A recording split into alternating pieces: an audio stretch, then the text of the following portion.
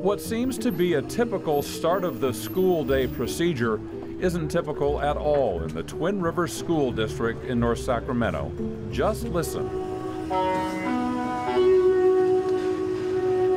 That's the sound of an electric bus that rides so quietly, those three tones were added so people nearby would know a very large vehicle was approaching. I drove this in San Francisco. And driving through San Francisco, people were very distracted. And I had a couple people almost walk right out in front of me, but the reason they didn't is because they heard that sound. And they looked up like, what was that?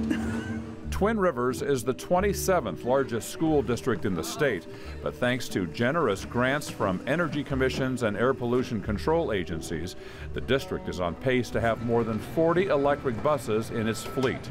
That's more than any other district in the country. So by the year 2021, we should be um, diesel free, 100% alternative fuel. It's clean air for kids and clean air for the communities.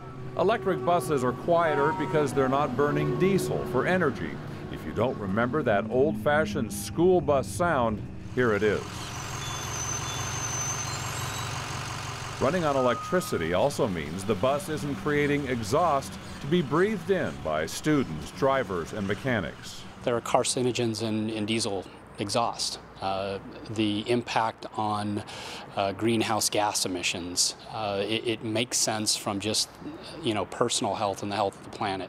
Nate Baggio is vice president of sales for Lion Electric, the leading manufacturer of electric buses. Lion has opened a bus experience center in Sacramento so other school districts can drop in to learn how they work and to determine if they're worth the investment. Up front, electric buses cost two and a half times a traditional diesel bus, but Lion Electric and Twin Rivers say these vehicles eventually pencil out. When you look at 80% less maintenance, 72% less uh, in fuel costs, uh, there's an economic argument. Maintenance costs are, are, tremendous on older buses and breakdowns and kids getting to school late.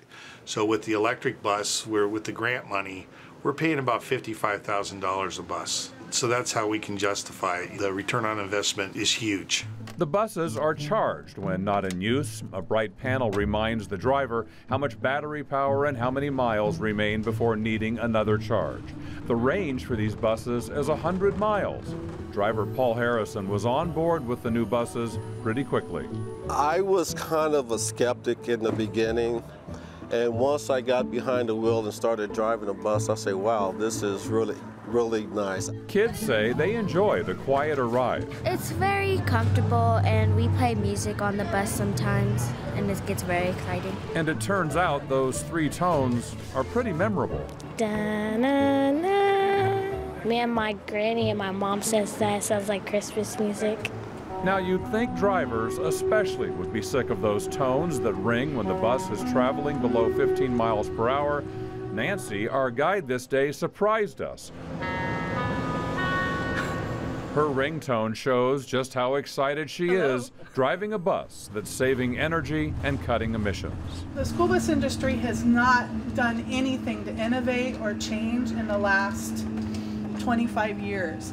And here we get to innovate a little bit, and that's exciting, and I enjoy it. I am absolutely thrilled to be a part of it.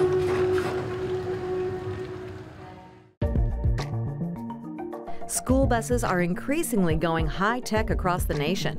One app allows parents to use GPS to track their child's school bus in real time, notifying them when it's nearby. In some districts, students swipe card readers when they board the bus, allowing the district and parents to track their location at all times. And more than a dozen states have passed laws to allow exterior cameras on buses, in part to catch drivers who illegally pass school buses that have stopped.